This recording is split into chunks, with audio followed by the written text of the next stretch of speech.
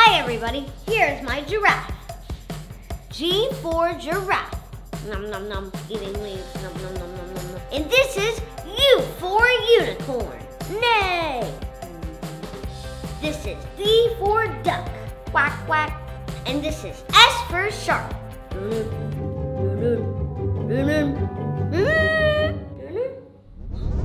Whoa! Hey Ryan, what you doing? Hey Combo, I'm thinking of all the alphabet letters for animals, but so far I only have four. Can you help me? Of course! I know a thing or two about animals, being that I am one myself. I'll also gather the best animals I know to help me. Okay, Combo. Uh, Combo? Where did he go? Welcome to Ryan's World. A is for alligator, like me. Alligators have between 74 and 80 teeth in their jaws at any given time. An alligator can go through over 2,000 teeth in its lifetime. Alligators can grow between 8 and 10 feet long. I guess I'm still growing. B is for butterflies. Butterflies camouflage themselves into their environment to keep them from being eaten. They also have taste receptors on their feet to help them find their host plants and locate food. That's so weird! C is for chameleon. A chameleon's skin changes colors in response to its emotions, such as anger or fear, changes in light, temperature, or humidity. They can move their eyes separately, with each eye having a field of 180 degrees. D is for dolphin. Dolphins are mammals just like we are. Dolphins breathe air, give birth to live young, and are warm blooded. Bottlenose dolphins have 72 to 104 teeth, but they don't use them to chew. Instead, they trap food in their mouths and swallow it whole. E is for elephant. Elephants are the world's largest land animal. Elephant tusks never stop growing, so enormous tusks can be a sign of an old elephant. They also use their trunk to eat. F is for flamingo. Flamingo's pink color comes from beta carotene in the crustaceans and plankton that flamingos eat. Flamingos feed by reaching down to scoop up a beakful of mud and water. Their beaks are designed to strain animals out of the mud, and the muddy water is drained out. G is for gill. Ah, yeah. Uh, I mean, it's for giraffe. Giraffes are the world's tallest living land animals. An adult male can grow to be taller than three adult humans. They have really long tongues that help them reach hard to get foods. H is for hippopotamus. Despite their enormous size, hippos are great swimmers and can hold their breath for up to five minutes underwater. When completely submerged, their ears and nostrils fold shut to keep water out. Despite having such large mouths, hippos are herbivores. Grass is their favorite. I is for iguana. Iguana is a type of lizard that lives in tropical areas of Central and South America and the Caribbean. Iguanas have excellent vision and can see long distances, shapes, shadows, color, and movement. J is for jellyfish. Jellyfish have no bones. Their bodies can be up to 98% water.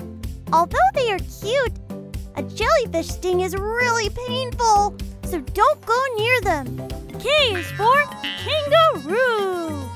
Kangaroos hop to cover large distances. Some kangaroos can hop up to 25 feet. That's really long. Kangaroo mothers use their pouch to carry their offspring, known as joeys. L is for lion. Often known as the king of the jungle, most lions actually live in the savannah or grasslands. Lions usually live in groups of 10 or 15 animals called prides. M is for monkey. Monkeys are very social creatures. Monkeys express affection and make peace with others by grooming each other. capuchin monkeys like this one are considered the most intelligent of the species. N is for newt. Newts have the ability to regenerate limbs, eyes, spinal cords, hearts, intestines, and upper and lower jaws. O is for ostrich. The flightless ostrich is the world's largest bird. They have not one, not two, but three stomachs. The giant eggs are the largest of any living bird at 15 centimeters long and weighing as much as two dozen chicken eggs. P is for parrot. With over 350 species of parrots, they come in many shapes and sizes. But most of us love their beautiful colored feathers. Parrots have the ability to mimic human speech and are often a favorite pet. Q is for quail. Quails are small, plump birds with brown to bluish gray feathers. They can lay 10 to 20 eggs at one time. That's a lot of eggs. R is for rhino. Rhinos are huge. They can weigh over 1,000 pounds. This is mighty impressive considering they mainly eat grass and leaves. Some species of rhinos are thought to be critically endangered, which means there's not many of them left. S is for shark. Did you know that a shark never runs out of teeth? They can have 5 to 15 rows of teeth arranged in layers. They also don't have any bones. Their skeleton is made up of cartilage. T is for tiger. Tigers are carnivorous. They are quiet, patient hunters with large, powerful paws and teeth to help them catch and eat their prey. Their unique orange, black, and white striped pattern helps them blend into the forest and grassy areas where they live and hunt. U is for unicorn. Hey, that's not a real animal. Oh man, the letter U is hard. Can you help me, please? What about urchin? That's a good one! Thank you, Peck! A sea urchin is ball shaped with long, pointy, and movable spines all over its body. Sea urchins usually live on ocean seabeds and warm waters. They're also known as sea hedgehogs because of how they look. V is for Varanus. Varanus is a type of monitor lizard. They are considered to be the most intelligent of all the lizards, and some of the most intelligent reptiles in general. Sorry, Gus. Oh man, W is for whale. The whale is the largest animal that ever lived. Whales are known to sing to communicate. Whales are very social. They move in groups called pods. X is for x-ray fish. How cool! These fish are transparent, which means you can see through them. Their transparent skin is thought to be a form of protection. Y is for yak. The yak is relative to the cow. Most yaks are domestic, which means they live on farms run by people.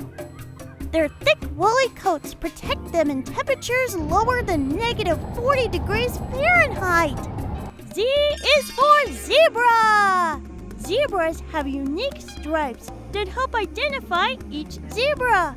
These cool creatures are herbivores and spend most of their day eating grass and sometimes leaves, shrubs, twigs, and bark too. Yay! We did it! One animal for every letter in the alphabet. Ha! Back to you, Ryan. Wow, thanks guys. I didn't even know some of these animals existed. I learned a lot about animals and the alphabet. I hope you did too. Thank you for watching. Remember, always stay happy and rise up. Bye.